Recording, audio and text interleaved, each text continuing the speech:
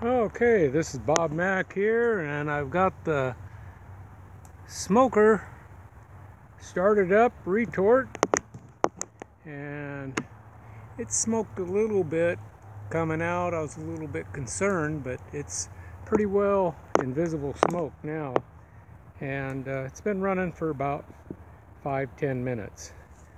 And uh, what I'm doing is, this is the poplar that I chunked up, and I have a lot of it chunked up, but I have found that this kind of poplar is really no good for driving on wood. So it's going to drive the heat for this uh, retort and uh, while the cherry wood's drying inside it'll be taking care of the smoke that's very dry so it's not giving off much smoke. I tried putting this piece in right here and oh man it started smoking off of that bark. It must be a little bit damp.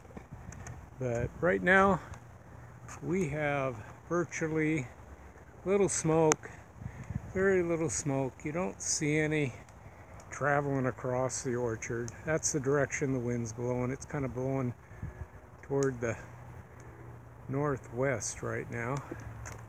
And uh, we've got a great little heat going. I haven't measured it yet, but I'm sure it's up to somewhere around three, 400 degrees in there.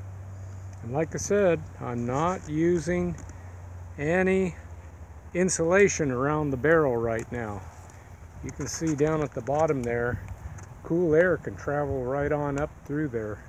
So if it takes uh, way too many uh, hours to turn this into charcoal, then I'm going to insulate the barrel and that'll double the heat, I'm sure.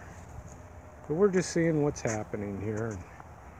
We'll uh, come back in about two hours and, and see what happens. So thanks for watching. Bob Mack out.